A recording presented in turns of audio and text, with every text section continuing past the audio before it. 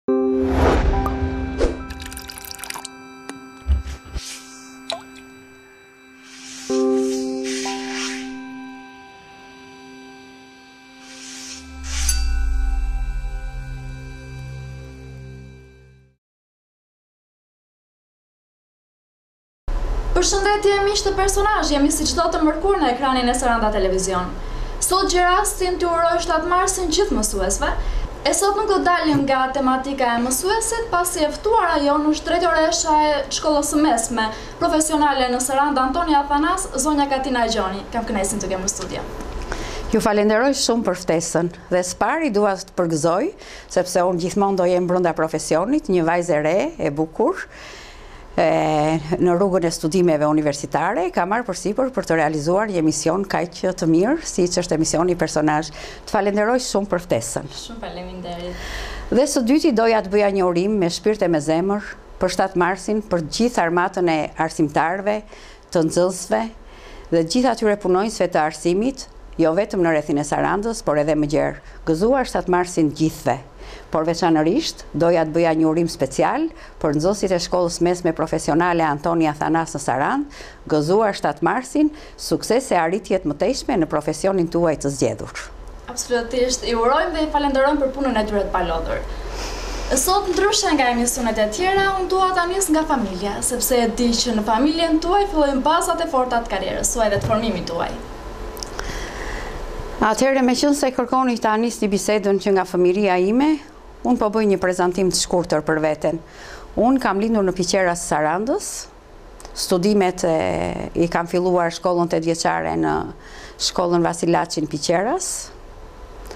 Aty hodhën edhe bazat e vogla në themelin e arsimimit tim, sigurisht duke pas parasysh një punë shumë dinjitoze të mësuesve të asaj periudhe, të cilët na e bënë shumë të dashur arsimin. Ia dedikoj këtë arritje mësuesve të mi të asaj periudhe. Unë vij nga një familje me pesë fëmijë, Kam një motër edhe tre vëllezër, edhe me dy prindër arsimdashës. Babai im një njeri shumë i urtë dhe shumë punëtor dhe mamaja ime ka qenë edukatore kopshti. Pas përfundimit të shkollës tetëvjeçare, vazhdova gjimnazin Hasan Tahsini në Sarandë në vitet shtatëdhjetë e gjashtë, tetëdhjetë. Dhe streha e ime në atë moment ishte familja e tezes time. I përshëndes të gjithë, i falenderoj me shpirt e me zemër për bujarinë e madhe, për dashurinë e madhe që më kanë dhënë.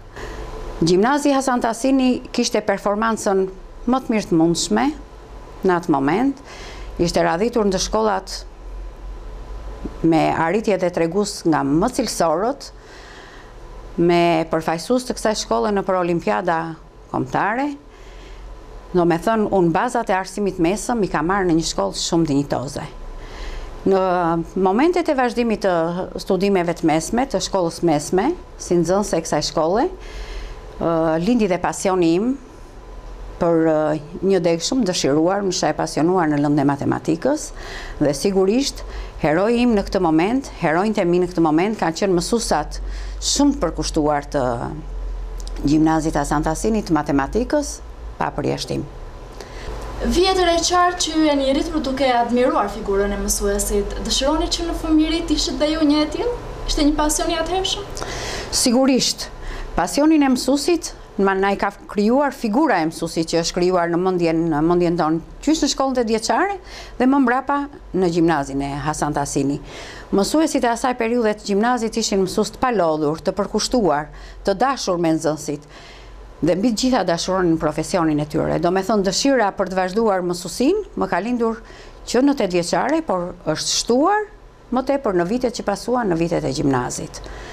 Pastaj, Mbarova studimet e larta në Gjirokastër dhe përfundova në degën e mësusisë për degën matematikë. Në vitin 83 unë kam mbaruar studimet dhe menjëherë pas mbarimit të studimeve emërohem me punë në shkollën e mesme të bashkuar të Lukovës. Në vitin 1983 filloj punë në shkollën e mesme të bashkuar Lukovë, Ishte momenti kur u hap gjimnazi për herë të parë dhe dita e parë e punës time ishte dhe dita e parë e fillimit të gjimnazit në Shkollën e Mesme të Bashkuar Lukovë. Koincidencë e bukur.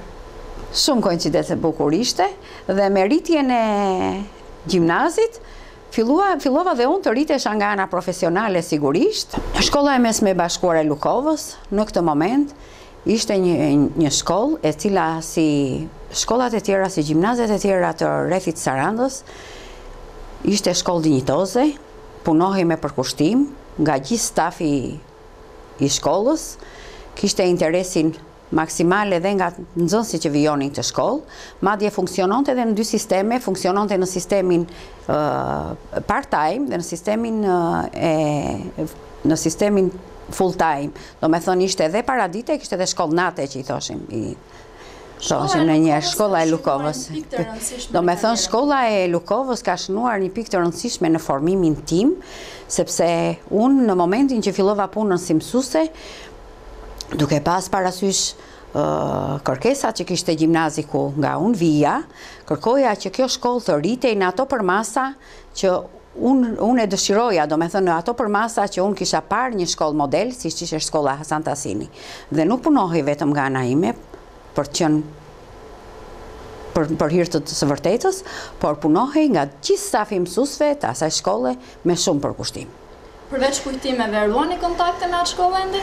Sigurisht që ruaj kontakte, jo vetëm me mësus, jo vetëm me nxënës, edhe me drejtorin e ri të asaj shkolle. Më pas unë emërohem drejtore shkolle në atë në këtë shkollë nga vitet dy mijë deri në dy mijë e gjashtë, përgjegjësia m'u shtua, sepse në momentin që dikush të vlerëson, të jep të drejtën për të menaxhuar një shkollë, atëherë do të thotë që jo vetëm të ka vlerësuar, po të ka shtuar edhe përgjegjshmërinë për të punuar me mish e me shpirt për për këtë shkollë.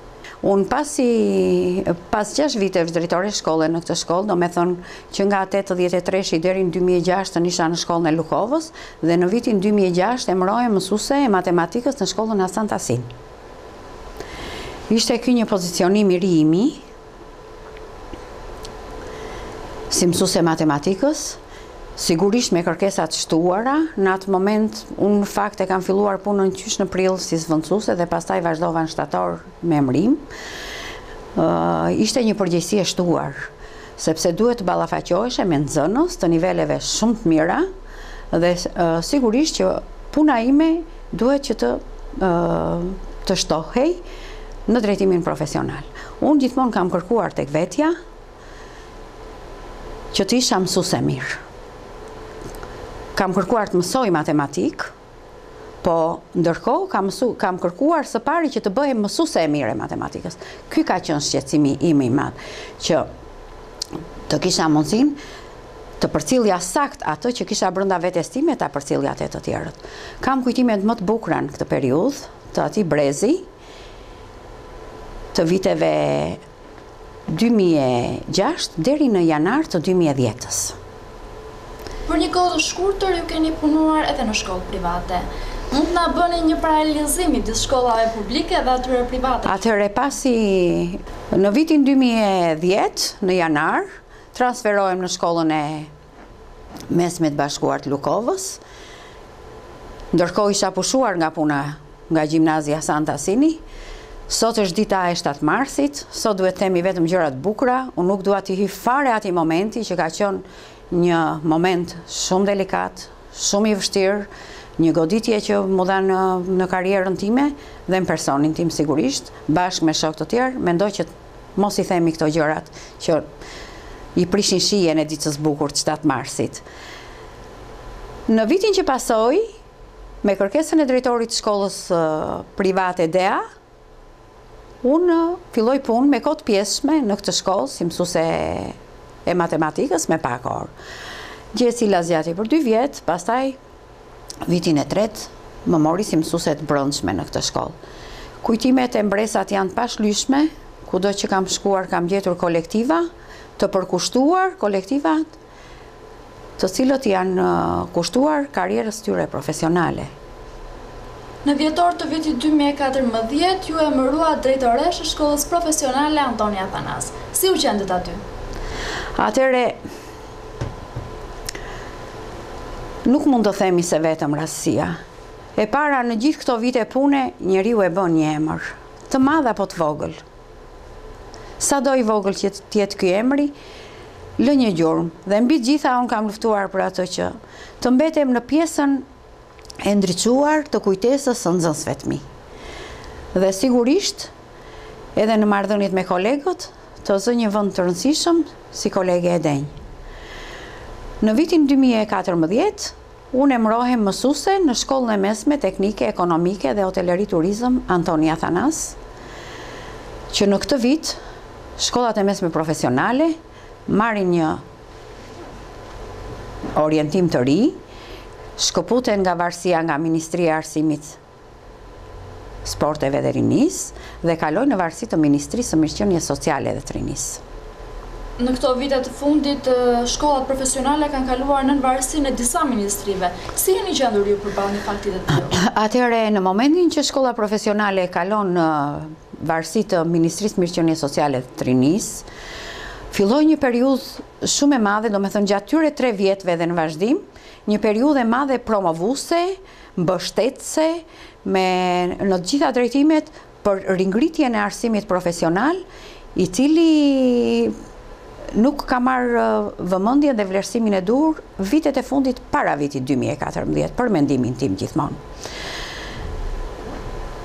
Në momentin që po flasim, ne përsëri kemi jemi shkëputur nga Ministria e Mirëqenies Sociale dhe Rinisë, kemi kaluar tek Ministria e Financave dhe Ekonomisë, Shkolla që ju drejtoni a ka kushte optimale për nevojat tuaja?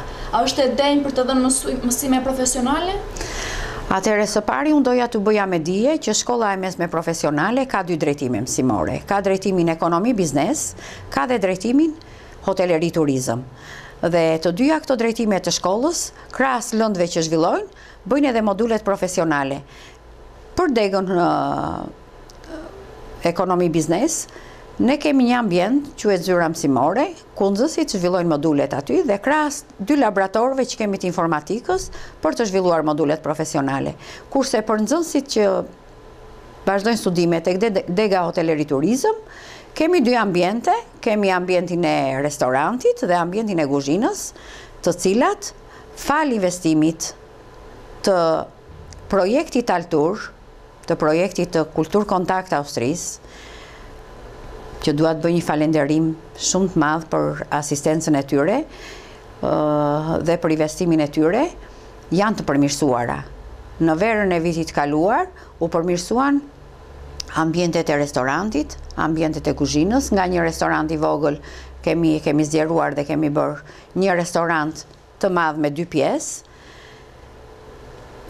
kurse për guzhinën, ajo guzhinë ekzistuse që ishte, po është rikonstruktuar dhe mbi të gjitha është investuar për pajisjen me bazë materiale të të dyja këtyre ambienteve.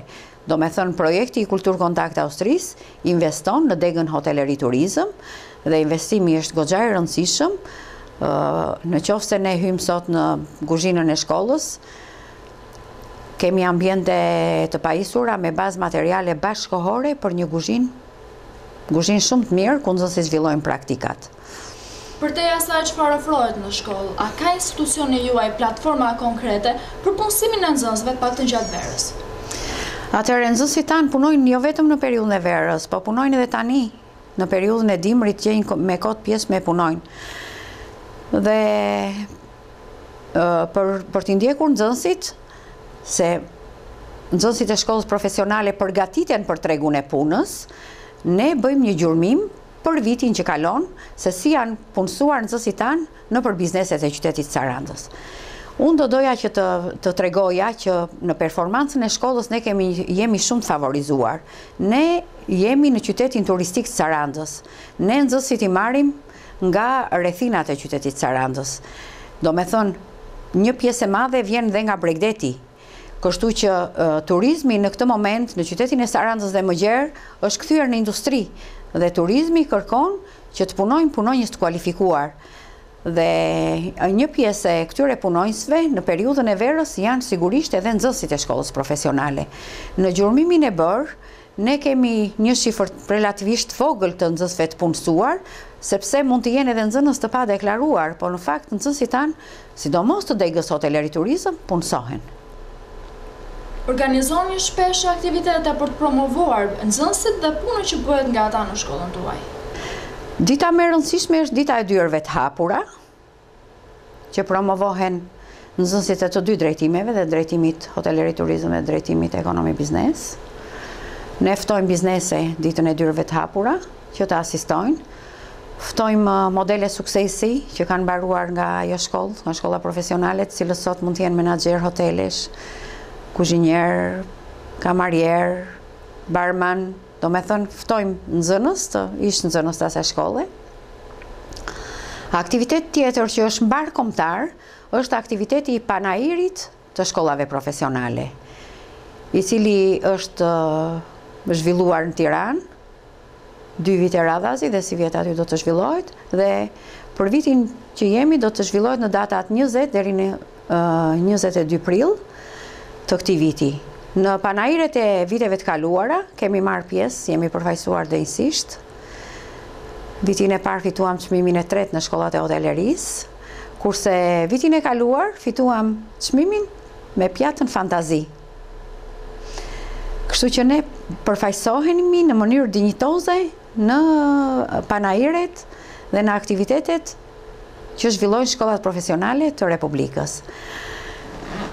Për promovimin e shkollës, gjithashtu ne organizojmë takime me nxënës të shkollave nëntëvjeçare, shkojnë mësues të shkollave të shkollës tonë tek nxënësit e shkollës nëntëvjeçare, Nxënës të shkollave nëntëvjeçare vizitojnë ambientet e shkollës tonë. Gjithashtu nuk do doja pa lënë dhe pa përmendur edhe pjesëmarrjen e nxënësve të shkollës tonë në një aktivitet një çik më të gjerë në një konkurrim që u zhvillua në Sarajevë, me nxënësit e shkollave të Hoteleri Turizëm, ku ne u përfaqësuam denjësisht në këtë aktivitet. Investohet mjaftueshëm për shkollat profesionale? A janë të mjaftueshme fondet nga strukturat qeveritare për të përmbushur gjithë nevojat që ju keni? Atëherë unë ju thashë që në momentin që jemi shkëputur nga kemi kaluar në varësi të Ministrisë të Mirëqenies Sociale dhe tani në varësi të Ministrisë tjetër, shkollat profesionale janë parë me, me prioritet. Të gjitha modulet që zhvillohen në shkollë janë investim vetëm nga buxheti i shtetit. Domethënë, dikur, nxënësit për të vazhduar shkollën profesionale, i paguanin vetë lekët që do të shpenzoheshin për të realizuar modulet.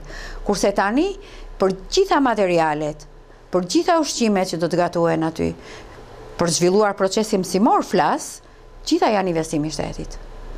Gjithashtu kemi pas investim nga ana e shtetit, na ka ardhur këto tre vite, një laborator kimie, kemi pas një investim tjetër në drejtim të bazës materiale tavolina karrige nga Ministria përkatëse.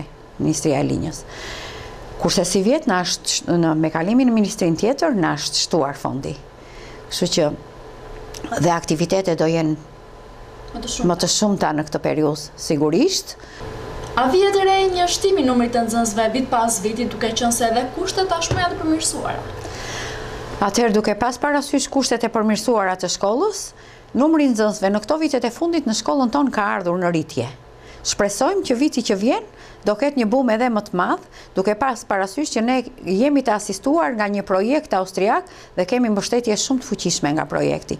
Jo vetëm në bazën materiale, jo vetëm në përmirësimin e infrastrukturës, po mbi të gjitha kemi mbështetje dhe asistencë në trajnime të mësuesve, për t'u zhvilluar mësimi në të njëjtat parametra siç zhvillohet edhe në Europë. Ekspertet austriake vizitojnë vazhdimisht shkollën tonë dhe asistojnë me ditë të tëra pranë nxënësve, nxënësit tanë janë dëshmitarë për këtë fakt, pranë nxënësve për t'u bërë sa më mirë gjërat. Për shembull, unë po jap një detaj të thjeshtë, ajo që gatuhet në guzhinën e shkollës të mund të shërbehet në restorantin e shkollës, Ne këtë gjë e bënim diku, e bënim më përpara, po tani e kemi realizuar të lidhur me njëra-tjetrën, që gatuhet, shërbehet në restorantin e shkollës. Gjithashtu, me ndihmën e projektit ne praktikën po e realizojmë në konviktin e shkollës profesionale.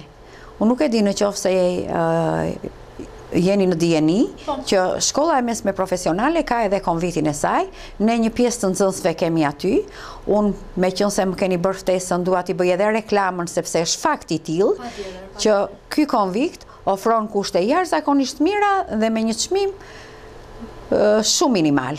Prandaj do t'u bëja thirje gjithë atyre prindërve që kanë fëmijë që mbarojnë sivjet klasat e nënta dhe janë nga rrethinat e qytetit të Sarandës të mos ngurojnë fare, po t'i sjellin fëmijët në konviktin e shkollës profesionale, sepse ofron kushte shumë të mira dhe është me shumë leverdi.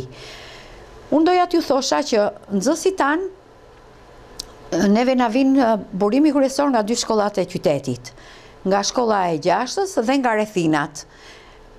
Kemi nxënës shumë që na vijnë dhe nga shkolla e Lukovës, madje kemi nxënës që vijnë dhe nga Himara, kemi pas nxënës që vinin nga Gjirokastra dhe nga Përmeti. Kjo është shkollë rajonale, dhe meqenëse është shkollë rajonale, ne mirëpresim që të na vijnë nxënës nga, nga, nga të gjitha këto zona. Domethënë, shkolla e mesme Antoni Athanas, të shërbejë si një agjent dinamik për zhvillimin e drejtimit të hotelerisë në në gjithë rajonin e Jugut. Duket që shkolla ka një përhapje mjaft të gjerë gjeografike. Doja të dija, ushtrohen presione politike në arsim, a përdoren mësuesit apo qoftë edhe nxënësit për qëllime elektorale? Unë do të thosha absolutisht jo.